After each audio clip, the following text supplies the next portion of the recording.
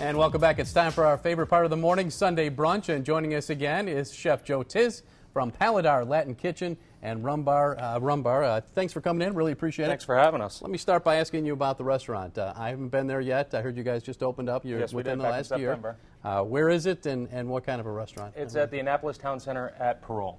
So Uh-huh. basically, a straight shot down 50. Really easy before you get to downtown Annapolis. Outstanding. Okay. Well, I look forward to coming down and seeing you guys. What are you going to cook for us today? Uh, today we're going to do blackened tilapia tacos. Excellent. Let's do it.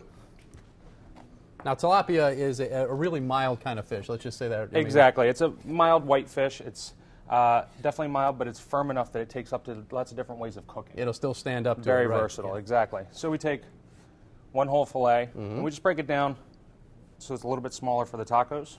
Okay.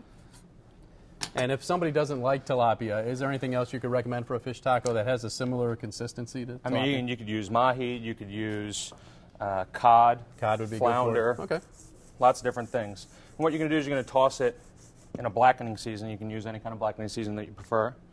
Is this one that you guys make uh, special at the restaurant? Yes. Yeah. Okay.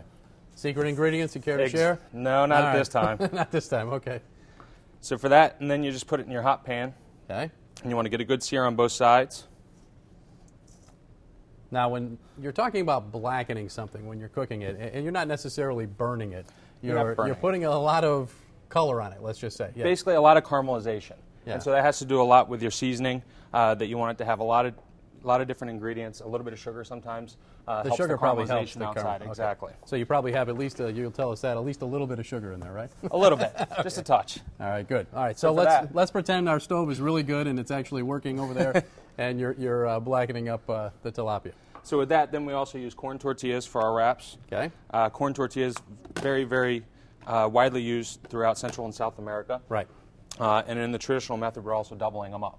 Uh, basically gives you a great Oh, for your yeah, taco. yeah. that- I like that idea. I- I, would do that at home, probably double them up just for a little more support. Exactly. Okay, so you're warming up the uh, the tortillas, and let's again pretend the fish is rocking and rolling there.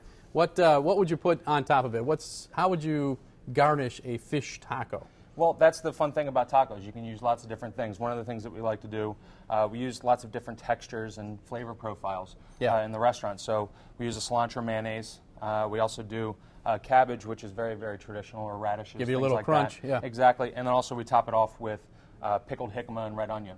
And a little bit of pineapple, so it also has a little bit of sweetness. All right, let me just add if you would uh, like the chef's recipe, uh, you can send us a self addressed stamped envelope to 3800 Hooper Avenue, Baltimore, Maryland, 21211, or you go to our website at WBALTV.com and you can grab the, the uh, recipe off of there. And uh, Chef,